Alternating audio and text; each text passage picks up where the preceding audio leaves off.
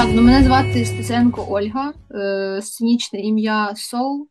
Мені 22 роки. Я мешкаю наразі в Києві, в Україні, і стосунки з музикою закрутились достатньо давно. Наразі я чинний студент е, інституту Глієра, Академії музики Київської, і закінчую магістратуру. Власне, за цією штукою були проведені останні дві години. От, е, а так. М, прям щоб прийти, прийти, типу, в, в музику, то це почалося. Ну, я вважаю, що це почалося більше з інструментальної, бо я початково попала в музичну школу як гітаристка.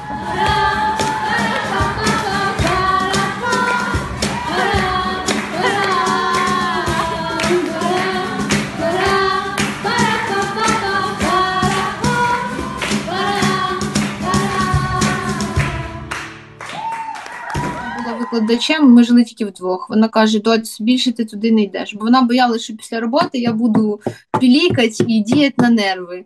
От тому моя музична освіта могла початися раніше, але все неспроста. Багатьом через музичну школу відбувають взагалі бажання займатися музикою як такою. Ну от. Е, тому я прийшла до цього трошки пізніше. Я співала в школі всі конкурси. He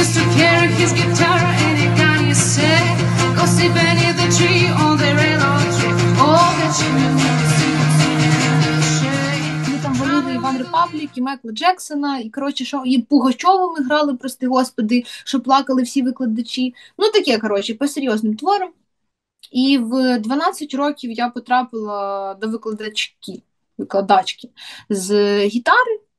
Олени Степанівні в школі Турчака, вона тут знаходиться. Я прийшла, я хотіла вчитись, прям типу, вчитись, а мені сказали, ти задоросла в 12 років, Треба щоб здобувати освіту. Назвали якусь на той момент дуже велику для мене суму, типу 2000 гривень в місяць. Я така, ого, типа. І мені просто сказали, ходи вчися. Я походила, повчилася грати десь 3 роки. Потім мені набридло, бо я вчила суперскладні твори, а коли мені кажуть, зіграй на гітарі, я така, е, я можу вам зіграти бімбо, можу зіграти вступ Отель Каліфорнія. От, але тим не менш, вокал е, розкрили в мене в школі. Там. Ти натхнення, ти моє молоко, вибух від зітхання. Боже, я так хотів відпустити у небо усіх птахів. Боже, я так хотів. Їхали чи в 16 на урок з вокалу. Е, є такий викладач Гарік Шеремет. Він був, е, по-моєму, суперфіналістом X-Factor. У них був гурт Рей Бенд, який колись там ох, шуму наводив. Мене, коротше, ледь не сили до нього притягнули. І от в 17, от що прям я вважаю, що прям взятись, типу. От я рахую відлік тоді. Бо з тих пір, от мені зараз 22, от 23 буде в лютому, е, я займаюся вокалом, типу, постійно. І я вже змінила трьох викладачів, і я розумію, що це, це така довга дорога, поки ти йдеш, ідеш, ідеш, ідеш і так далі. Тому, ну, по факту, типу, якщо так брати, це почалося з гітари в 12, але я для себе десь відмічаю, що якщо брати саме спів, то це було в 17.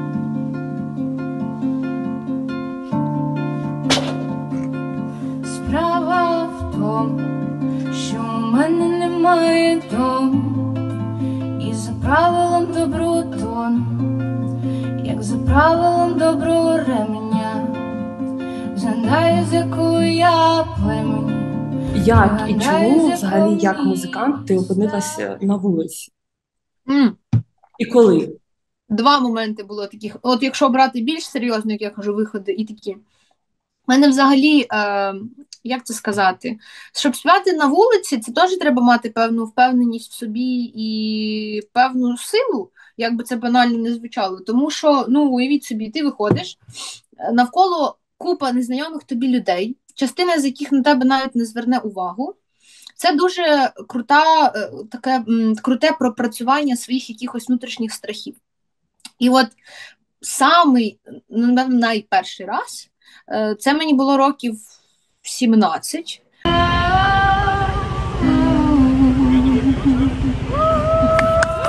Ми ходили регулярно, це ще не було апаратури навіть. Ми ходили регулярно в парк Наталку, кудись в ті райони, і мене випхали друзі поспівати в метро. Вони мене взяли на слабо. Е, кажуть, а слабо зараз поспівають півгодини в метро. Я кажу, як це? Тут ж люди ходять. Вони такі, ну Оль, ти ж ну, слабо? Я кажу, не слабо. Ми співали півтори, в мене всі померзли, це була якась березень, чи ще зима. Кажуть, ладно, типу, все.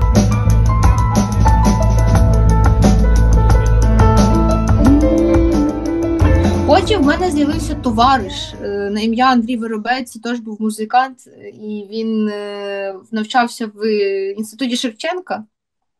Ми також з ним постійно грали або в метро, або на вулиці. Просто каже, поїхали грати.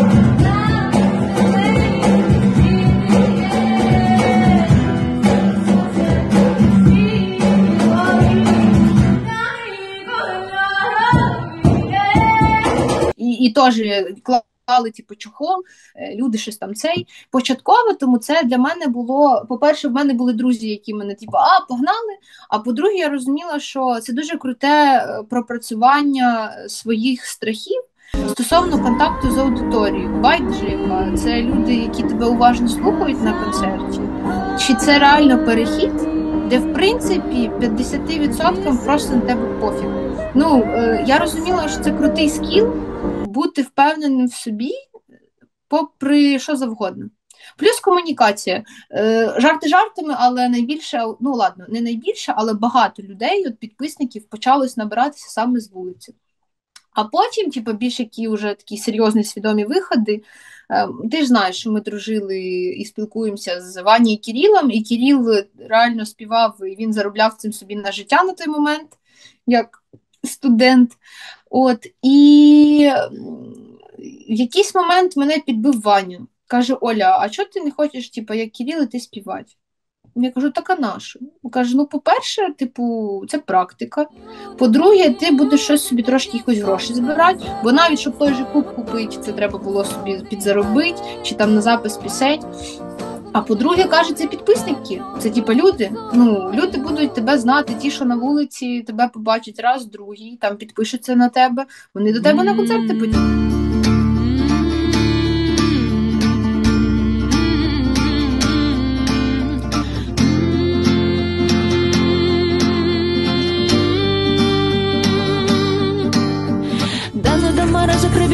Gomshele Capre mamața de capre mamața de да, ну да мережі прибіду гомшеле Capre мамаца де да Я така все, коротше, на попередньому навчанні і періоді ставимо крапку, рухаємося далі. І я стояла на контрактовій площі, по-моєму, перший, по-моєму, перший вихід біля пузатої хати в цьому році. Я співала години три.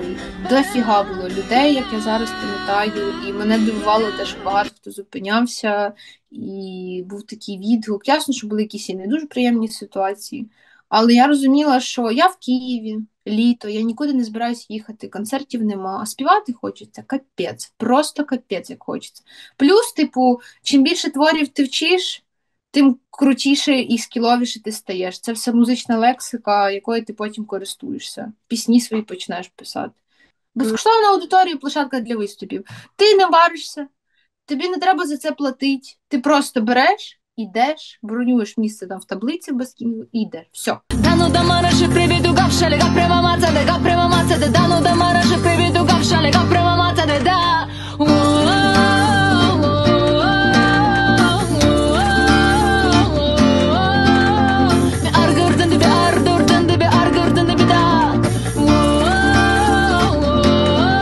Все залежить від погоди, все залежить від обставин. Коротше, от наскільки воно може бути класним, наскільки цей вихід може бути пустим. Ти кожен раз це така гра в лотерею, ти не вгадаєш. Ти такий, о, сьогодні субота, там, наприклад, стану на хрещатику. Ага. А якщо поруч стоїть хтось, який грає там, ну от сьогодні це була якась на моїй лузі червона калина. Все, всі люди будуть там, і пофіг, що ти співаєш краще, і граєш краще, і людина ти теж покраще, байдуже, всі про туди.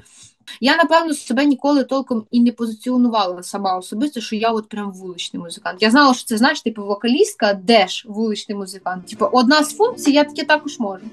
Але це був більше такий важливий перехідний етап від дівчинки, яка співала чисто вдома, або на концертах якихось там шкільних чи якихось закритих виступах, до людини, яка вирвалася спочатку в абсолютно одну двіжуху, а потім в більш серйозну вже джазову другу.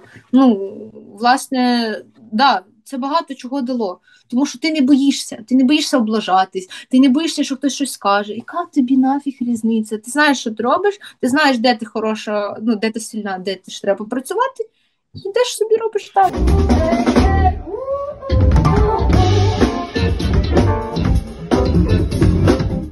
Просто історія на мільйон, реально. Ем, в мене був благодійний проєкт з 18-го року. Він називався Хвилі душі. Навіть є сторінка досі е, в інтернеті висить. І ми до цих всіх приколів з донатами, ДДД, коротше, ще ніхто коли нікого такого не робив.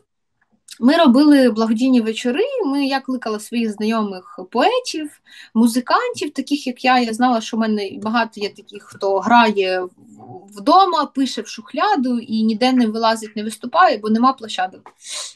І в мене початкова була мета з цим проектом: це щоб був майданчик, де я і мої друзі можуть показувати, які вони от в музиці і в віршах. А друга суміжна функція цього проекту це була реальна благодійність. Ми збирали на той момент то були великі для мене кошти. Ми типу, спочатку 10 тисяч гривень збирали, потім 15. На якісь е, операції зазвичай це було пов'язано з лікуванням когось. Це були мої знайомі, бо, наприклад, там тато мого друга, от умовно, і це реально таке була колега мами по роботі. Е, і ми ну, от збирали кошти, і потім я пам'ятаю, останній вечір то щось 15 зібрали. Для нас це тоді було багато. Організація, яка себе не рекламувала, не мала ніяких спонсорів. Приходить 100 людей, отримують неймовірне задоволення, донатять, і ми такі вау, клас. От іронія в чому? Е, Я робила це, до речі, був крайній вечір того проєкту. Кстати, да. І мені не вистачало одного музиканта. Ну, от от по програмі все ідеально, але от одного не вистачає. Я гуляла з подругою по контрактовій. Іронія, що ми зустрілися з Федією на тому ж місці, де я тоді грала. І ми щось проходимо. Я стою, думаю, ми так просто проходили, я дивлюсь, то грає, такого класно. І ми проходимо, а я ж слухаю. І тут я щось така, так, щось мені і голос подобається, і пісні якісь прикольні, не банальні. Ну, я завжди десь щось граю, особливо, якщо хтось грає. Я, В мене не важливо, що говорить співбесідник, я почну слухати. І я питаю свою подругу Сашку: Саш, слухай, а що ти скажеш за цього хлопця? Я просто не розумію. Я просто хочу спитати тебе, чому ти настільки красива. Ну каже, та він, типу, а в мене та подруга, вона не прям музикант, таке, знаєш, більше естет. Каже, та він класний. я кажу, да, він каже, да. я кажу, слухай, давай його послухаємо. Ми постояли його, послухали реально від цілих хвилин 10-15. Я така, блін, мені б цей хлопець на відкриття вечора ідеально б зайшов. Ідеально. Я хитрю, дивлюсь, стоїть вивіска інстаграму, що там Фед Галатій.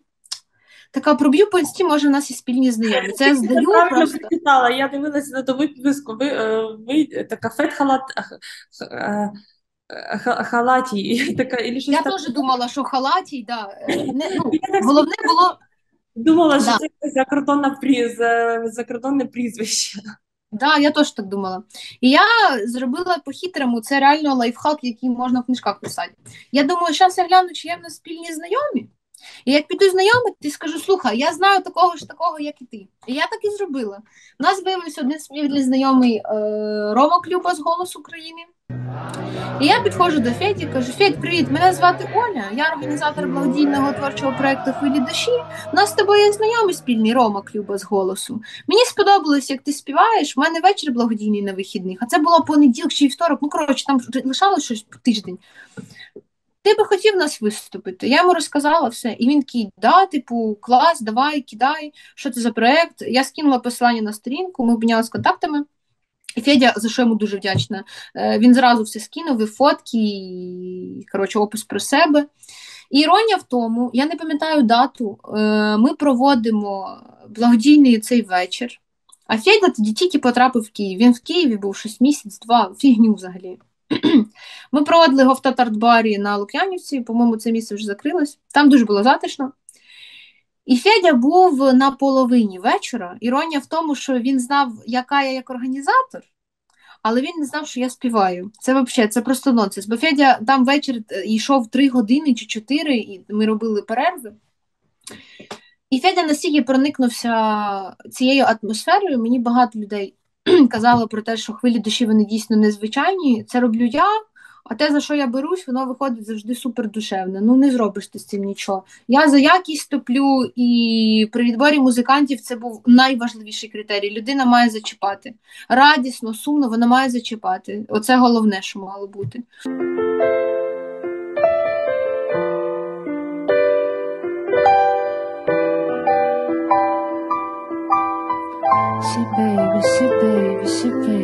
What you do?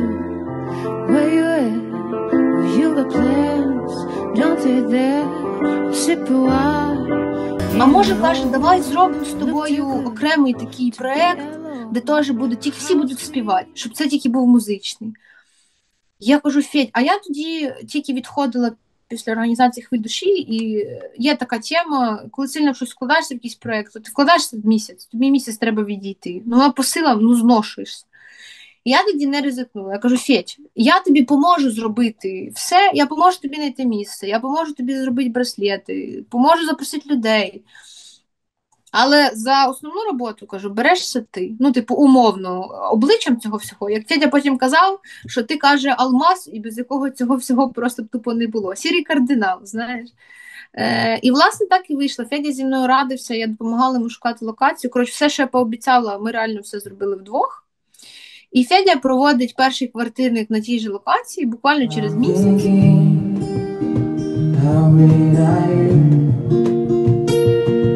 So please give me another chance. де було багато з тих, з ким я дружила наступні півтора роки. І там був перший ух ти, який квартирник. Я така, о, прикольно, типу, класна тема пішла. Я ще прийшла з ним, там привіталась, кажу, все, Федя, красавчик, ди-ди-ди. І Федя робить перший квартирник, другий, третій.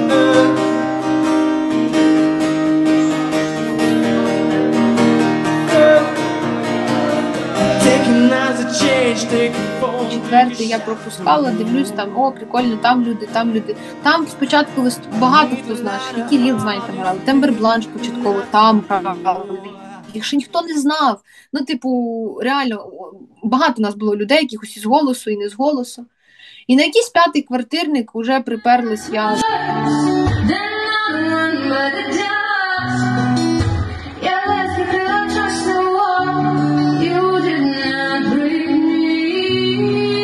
Є така фраза офігенна. Ти ніколи не втратиш, якщо ти повіриш е, в чиюсь мрію. Якщо в людини не вийде, блін, ну вона хоча б спробувала. А якщо вийде, то ти ще потім будеш до того причетним.